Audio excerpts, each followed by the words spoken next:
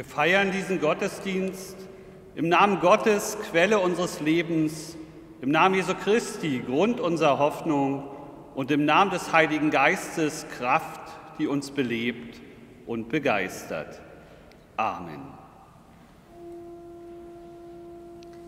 Der Herr sei mit euch.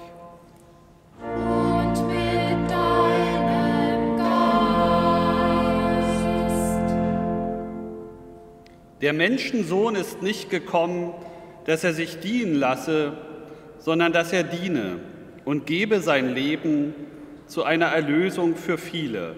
Das ist der Wochenspruch für die kommende Woche und der steht im Matthäusevangelium im 20. Kapitel. Herzlich willkommen zu diesem besonderen, ja eigenartigen Gottesdienst. Die Kirche ist fast leer. Einige wenige haben sich hier versammelt, um diesen Gottesdienst aufzunehmen für Sie. Sie können ihn sich dann später ansehen. Die wenigen, das sind Dorothee Frei an der Orgel, unsere Kantorin, unsere erste Vorsitzende aus dem Kirchengemeinderat, Claudia Wolf, ihr Mann Sven, unsere Gemeindepädagogin Silke Kremer, Benjamin Jäger, der uns unterstützt, technisch und gesanglich, und Thomas Braun, der die Technik verantwortet. Vielen Dank euch allen, dass ihr hier mit mir gemeinsam diesen Gottesdienst gestaltet. Seit dem 15. März finden wie überall, auch bei uns in der Heiligen Geistkirche, keine Gottesdienste statt. Wir erleben, wie sehr uns diese besondere Gemeinschaft fehlt. Dies hier kann nur ein bescheidener Ersatz sein. Wir hören Korn, das in die Erde aus dem evangelischen Gesangbuch Nummer 98.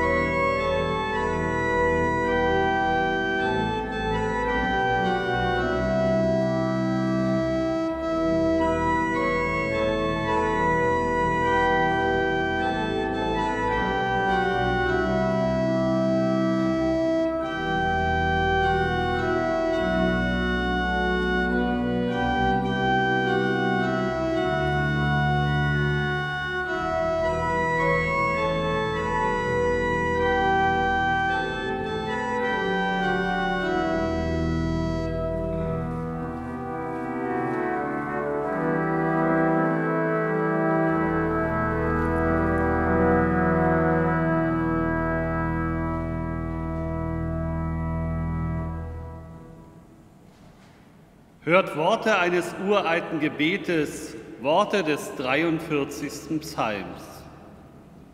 Richte, Richte mich, Gott, Gott, führe meine Sache und errette mich, denn du bist der Gott meiner Stärke. Richte mich, Gott, und führe meine Sache wider das unheilige Volk und errette mich von den falschen und bösen Leuten. Denn du bist der Gott meiner Stärke. Warum hast du mich verstoßen? Warum muss ich so traurig gehen, wenn mein Feind mich dränget? Sende dein Licht und deine Wahrheit, dass sie mich leiten und bringen zu deinem heiligen Berg und zu deiner Wohnung. Dass ich hineingehe zum Altar Gottes, zu dem Gott, der meine Freude und Wonne ist, und dir, Gott, auf der Harfe danke, mein Gott. Was betrübst du dich, meine Seele, und bist so unruhig in mir? Harre auf Gott, denn ich werde ihm noch danken, dass er meines Angesichts Hilfe und mein Gott ist. Richte mich, Gott, führe meine Sache und errette mich, denn du bist der Gott meiner Stärke.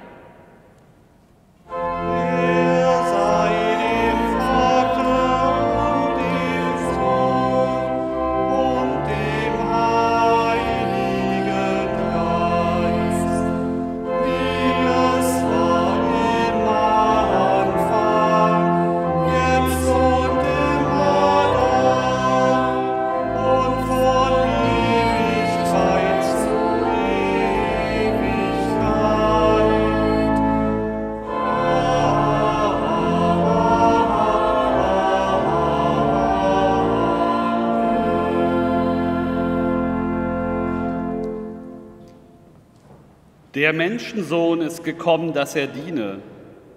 Wir fragen danach, was uns dienlich ist. Wir wollen Trost, wir wollen Beruhigung und einen Gott, der uns durchträgt. Für uns wollen wir das.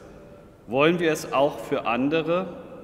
Wie oft haben wir in diesen Tagen noch an die Menschen auf der Flucht gedacht? Gott, erbarme dich über uns. Kyrie eleison.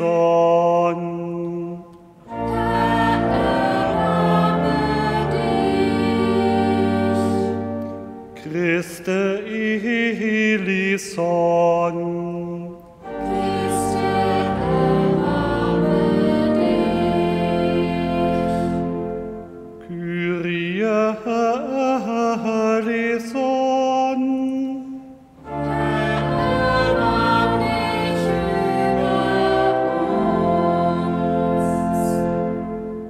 Gott, wir stehen vor dir und dem Leben. Komm bei uns an. Hilf uns über unsere Ängste hinweg. Lass uns dem Leben gegenüber offen bleiben. Hilf uns, uns nicht abzufinden mit Hunger, Krieg und Ungerechtigkeit. Das bitten wir durch unseren Herrn Jesus Christus, der mit dir und dem Heiligen Geist lebt und regiert von Ewigkeit zu Ewigkeit. Amen.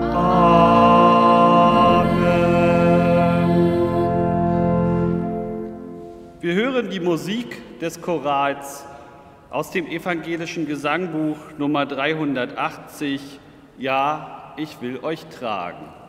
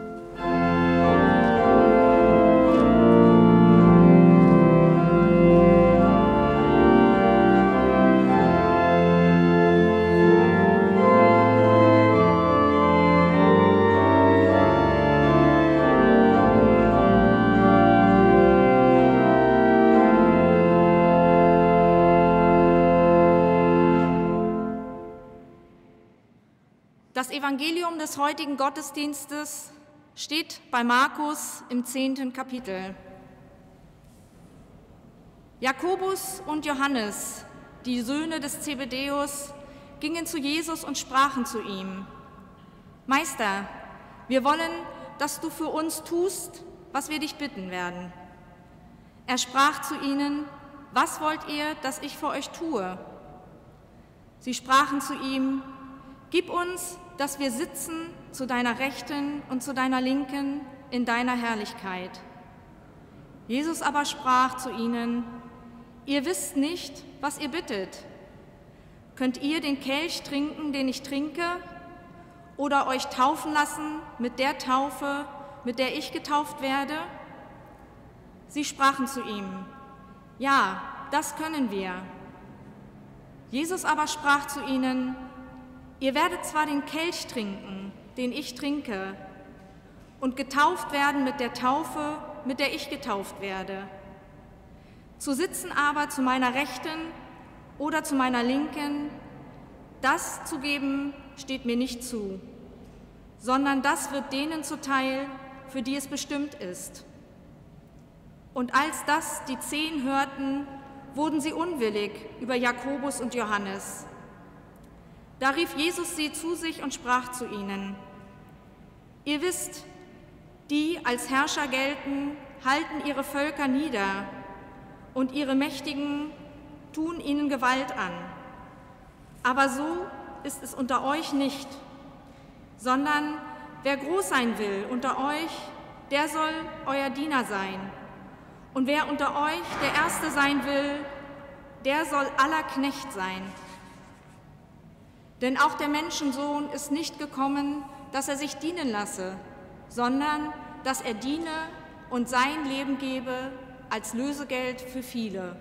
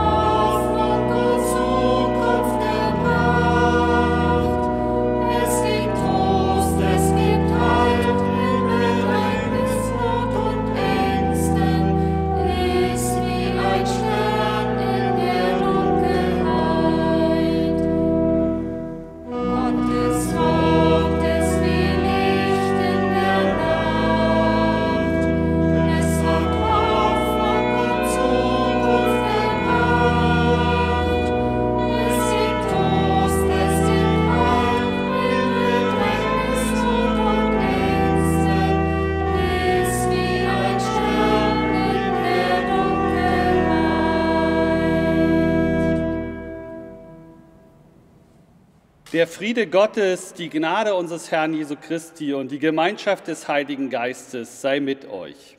Amen. Natürlich ist es in Zeiten von Corona angeraten, nicht rauszugehen. Draußen ist es gefährlich. Man kann sich anstecken oder andere infizieren. Trotzdem fordere ich euch und Sie mit dieser Predigt zum Rausgehen auf. Manche, die keine einzige große Reise unternommen haben, entdecken neue Welten. Andere, die um die Welt jetten, nehmen kaum je etwas wahr. Was wir suchen, kann nie das sein, was wir schon haben. Selbst wenn wir am Ende die bleibende Stadt dort finden würden, wo wir einmal losgingen, wäre der Weg nötig gewesen, auf dem wir uns verändert haben. Wer weiß, wohin uns die Pandemie führt, die uns herausstößt aus gewohnten Trott, geliebten Ritualen, eingespielten Abläufen. Am Ende werden wir draußen Neues gefunden haben und es wird wieder mal gefährlich gewesen sein da draußen. Wer das Gewohnte verlässt, begibt sich in Gefahr. Wer das Gewohnte in Frage stellt, wird schnell gefährlich. Jesus war gefährlich. Jesus ist gefährlich. Sie wollten ihn aus der Welt schaffen. Die Welt ist ihn nicht losgeworden. der Preis aber ist hoch. Der Predigtext für den Sonntag Judika steht im Hebräerbrief im 13. Kapitel. Darum hat auch Jesus, damit er das Volk heilige durch sein eigenes Blut gelitten, draußen vor dem Tor. So lasst uns nun zu ihm hinausgehen aus dem Lager und seine Schmach tragen. Denn wir haben hier keine bleibende Stadt, sondern die zukünftige suchen wir. Hallo, ihr da. Ich bin drin. Drin ist es besser. Da draußen vor dem Tor haben sie ihn getötet. Draußen vor der Tür ist es nicht sicher. Die da draußen sind gefährlich. Warum also sollte ich hinausgehen? Wir haben hier keine bleibende Stadt. Das ist doch Unfug. Lieber der Spatz in der Hand, das ist es doch was soll mir denn diese zukünftige Stadt? Ob ich dann nichts mehr erwarte vom Leben? So ein Blödsinn. Na klar erwarte ich was vom Leben. Ich erwarte, dass es so bleibt, wie es ist. Das reicht mir. Daraus gehe ich nicht. Die werden schon sehen, was sie davon haben, die, die immer raus wollen. Hey, geht es euch auch so? Denkt ihr auch, nur raus hier? Es ist so eng in diesem Haus, in diesem Leben. Alles ist jeden Tag wie am Tag davor. Es gibt nichts Großes, nichts Aufregendes, keine Herausforderung. Draußen vor der Tür, sagen sie, ist es gefährlich. Draußen sind schon welche ums Leben gekommen. Ich frage mich, um welches Leben die hier drin eigentlich bangen. Sie halten mich fest, sie halten mich aus Sorge, sie halten mich aus Liebe. Ich glaube, sie halten mich aber auch, damit sie nicht sehen müssen, dass sich jemand traut. Sie wollen nicht, dass ich gehe, sie wollen nicht, dass ich da draußen in Gefahr gerate. Noch weniger, aber so denke ich, wollen sie, dass ich es schaffe, von hier loszugehen anders als sie. Anders als sie nicht da sitze und um die verpassten Chancen trauere und dann noch laut sage, es ist gut so, der Spatz in der Hand, das ist doch besser als nichts. Schau dir an, was mit diesem Jesus passiert ist, sagen sie. Draußen vor der Tür ist es gefährlich. Jesus ist raus. In Nazareth hatten sie gesagt, er sei von Sinn. Jesus ist raus. Er hat sich nicht an das Gesetz gehalten. Er ist raus. Hat zu viele Gesetze überschritten. Mit Huren und Verbrechern hat er sich gemein gemacht. Den frommen Männern hat er widersprochen. Autoritäten hat er in Frage gestellt. Gebeugte hat er aufgerichtet. Mutlose sind mit ihm noch einmal losgegangen. Er hat andere mit nachgezogen, mit nach draußen, in eine unheimlich weite und unübersichtliche Freiheit. Ja, es ist sogar noch schlimmer gewesen. Er wollte nämlich überhaupt nicht mehr rein. Viele haben ihm Brücken gebaut. Es wäre so wohltuend gewesen, wenn er sich eingepasst hätte. Ein angepasster ehemaliger Störenfried ist ein gutes Beispiel.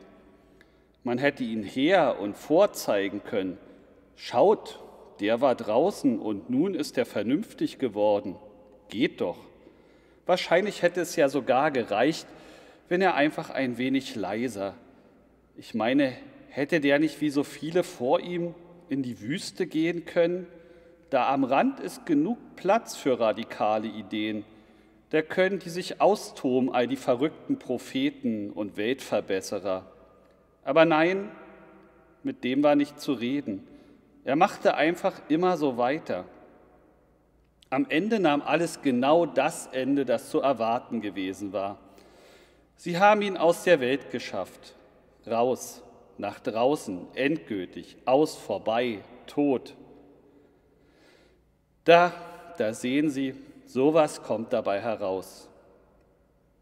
Was ist mit Ihnen? Geben Sie sich nicht zufrieden? Suchen Sie auch da draußen die zukünftige Stadt?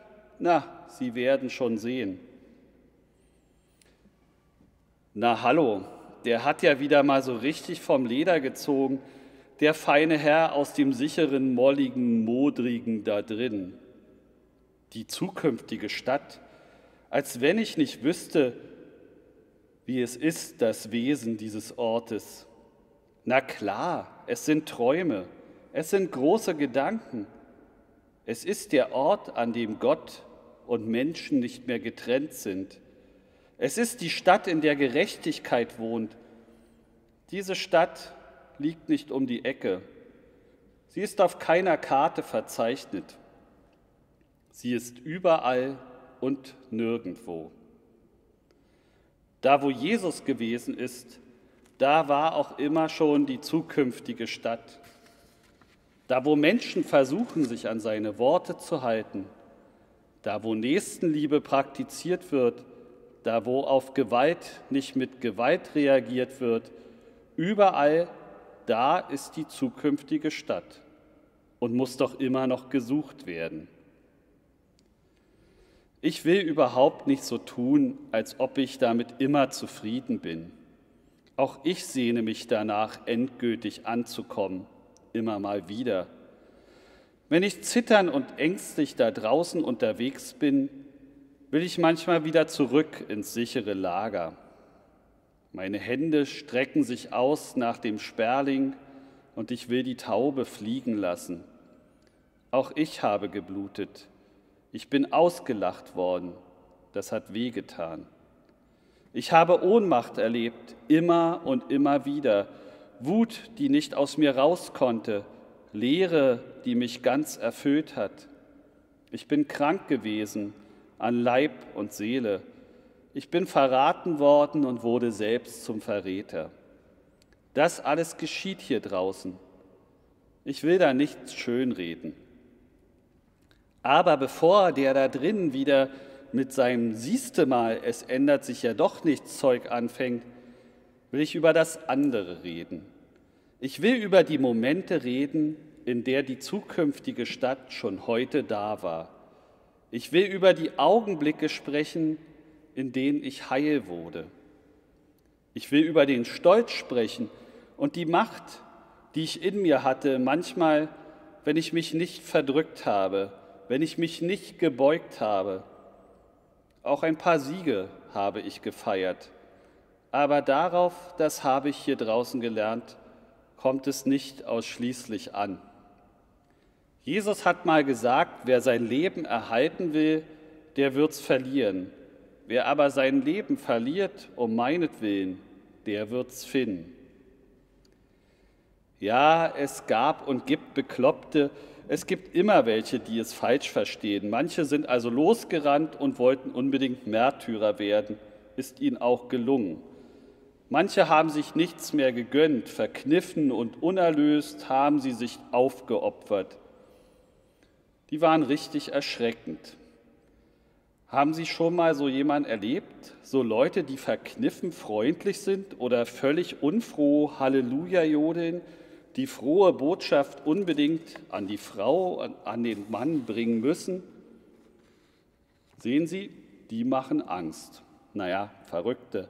Aber immerhin, sie haben wenigstens den Kopf vor die Tür gesteckt. Sie haben wenigstens die Chance zu leben.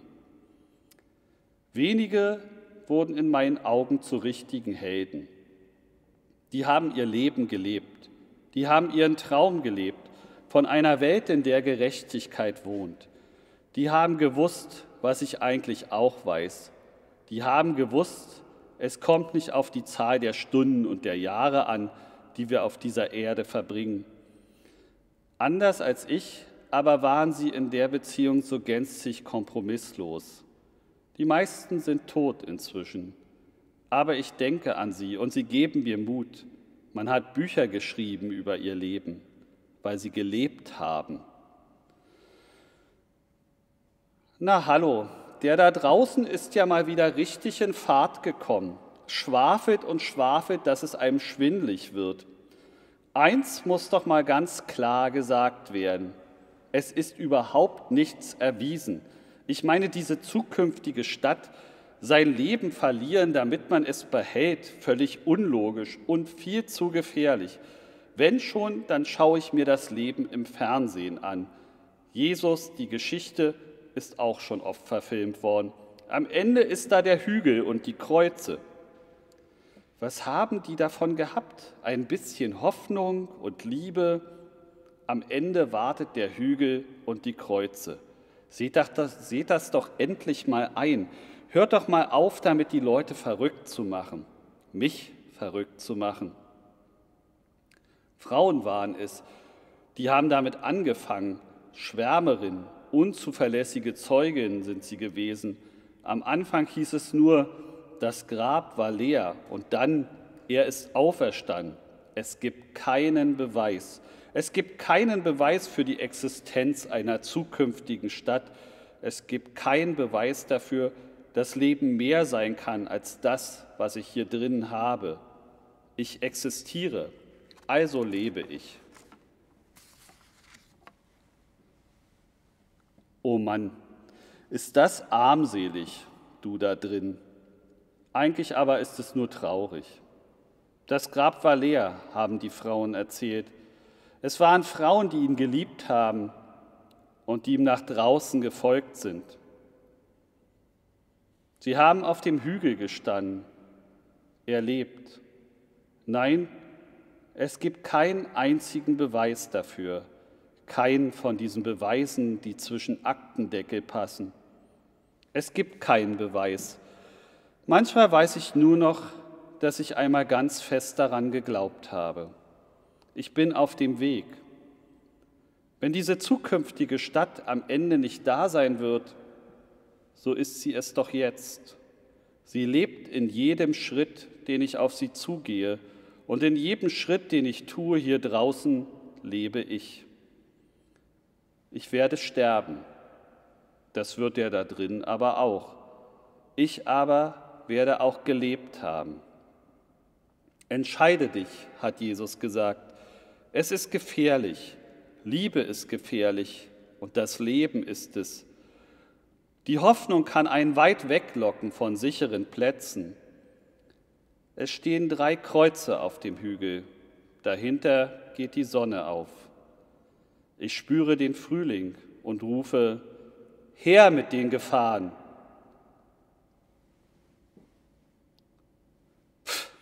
Also, dem ist nicht zu helfen.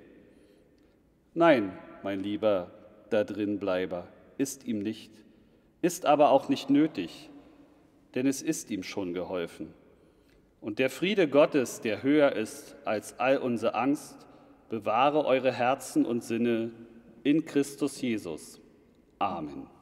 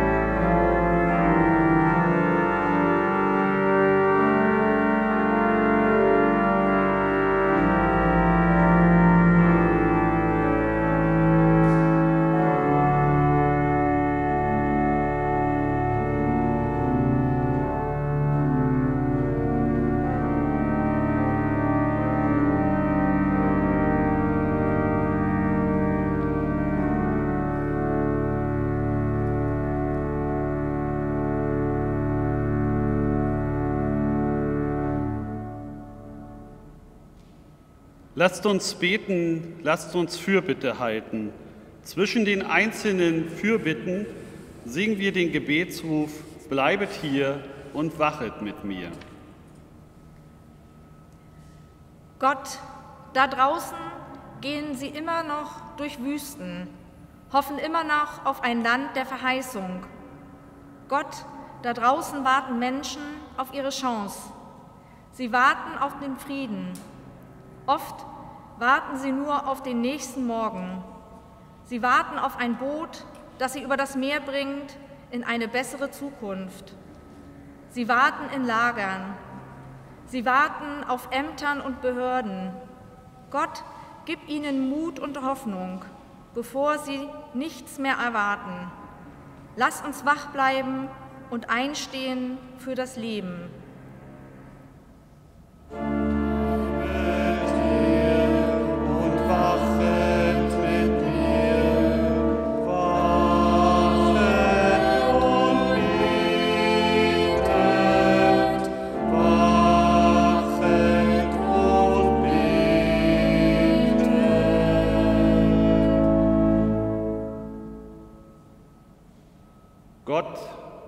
Da draußen hoffen Menschen auf Gerechtigkeit. Oft ist genau jenes, was die einen sich erhoffen, in den Augen der anderen ungerecht. Gott, da draußen warten Menschen auf Barmherzigkeit und Großmut und sind doch unbarmherzig anderen gegenüber. Wer ist im Recht, wer im Unrecht? Es ist nicht immer leicht darauf eine Antwort zu finden. Bewahre uns vor eiligen Festlegungen. Hilf uns und anderen, nicht zuerst nach dem Recht zu fragen, sondern nach einer Zukunft in Frieden. Halte uns wach und halte uns auf der Seite des Lebens.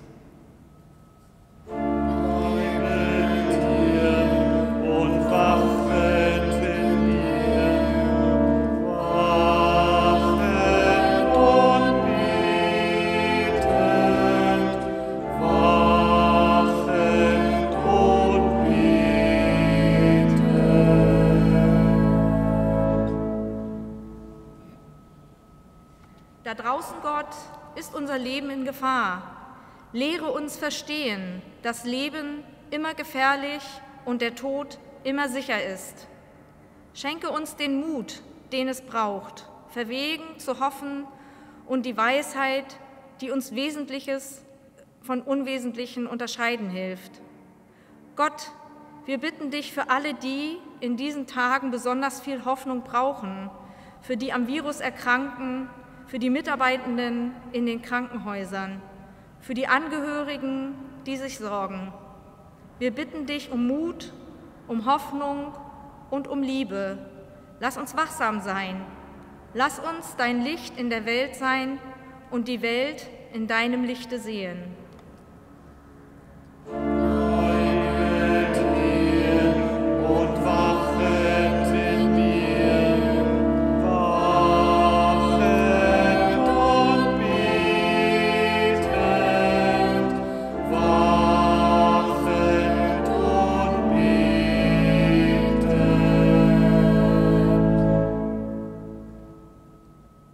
Lasst uns beten, wie Jesus es uns gelehrt hat.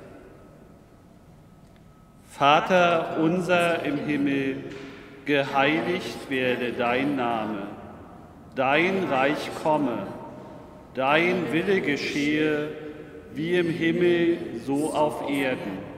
Unser tägliches Brot gib uns heute und vergib uns unsere Schuld, wie auch wir vergeben unseren Schuldigern. Und führe uns nicht in Versuchung, sondern erlöse uns von dem Bösen. Denn dein ist das Reich und die Kraft und die Herrlichkeit in Ewigkeit. Amen. Geht hin im Frieden des Herrn.